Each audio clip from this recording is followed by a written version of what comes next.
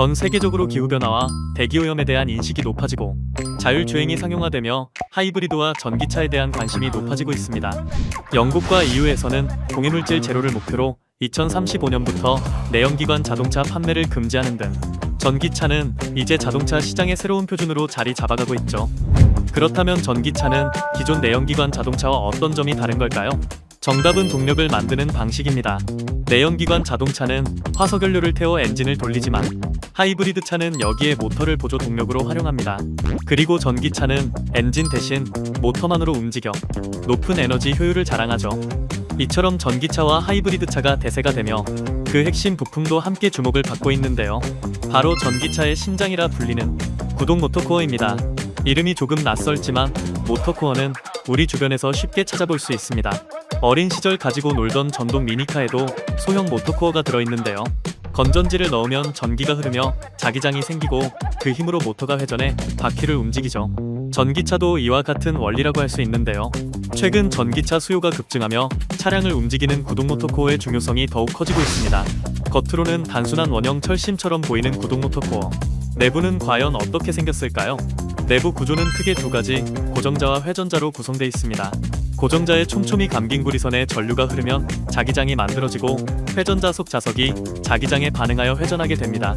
이 회전력이 모터의 축인 샤프트를 타고 바퀴로 전달되어 자동차가 앞으로 움직이게 되는 것이죠. 이처럼 구동 모터코어는 다양한 부품이 결합되는 만큼 매우 정교한 공정을 거쳐 생산되는데요. 이제 그 과정을 함께 살펴볼까요? 구동 모터코어는 무방향성 전기강판으로 제작됩니다.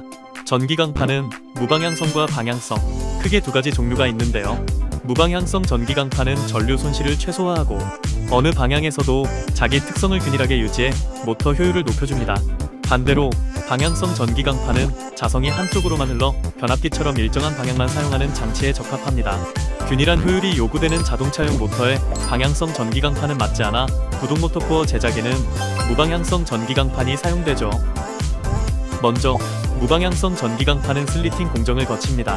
얇은 두께의 전기강판을 길이 방향으로 전단 가공해 모터코어 제작에 알맞은 폭으로 만드는 과정입니다.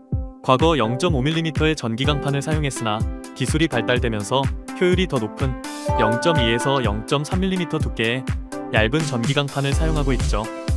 slitting된 강판은 이후 프레스 공정에 투입됩니다. 절연 코팅된 전기강판을 금형에 맞춰 찍어내면 고정자와 회전자의 형상을 띤 낱장 코어가 만들어지죠.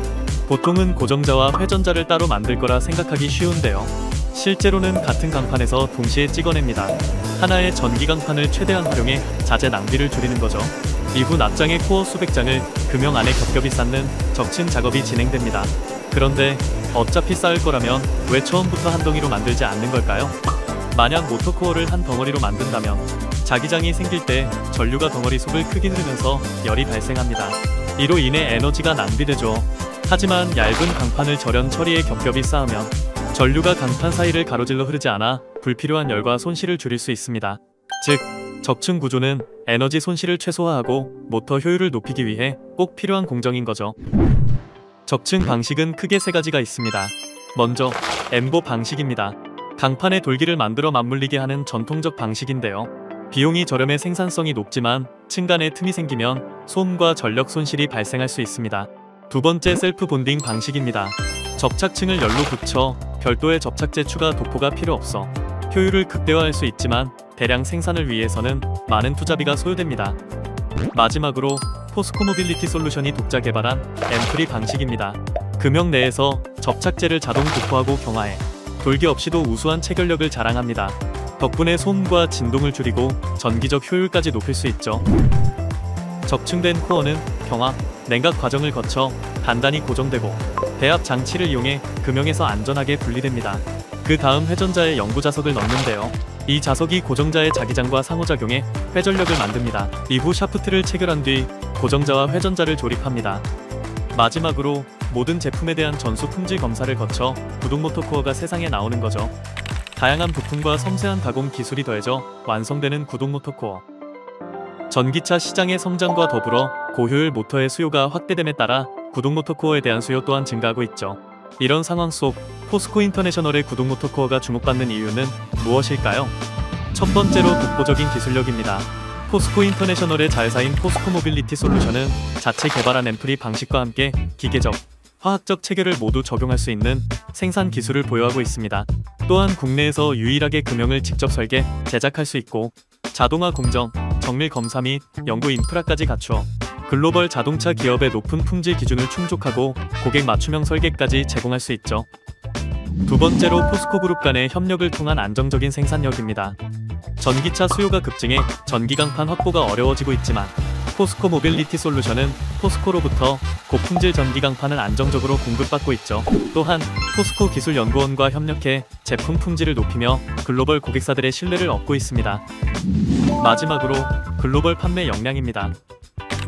포스코 인터내셔널은 한국, 북미, 유럽을 넘어 인도로 생산 거점을 넓히며 현지 공급 체계를 강화하고 있습니다.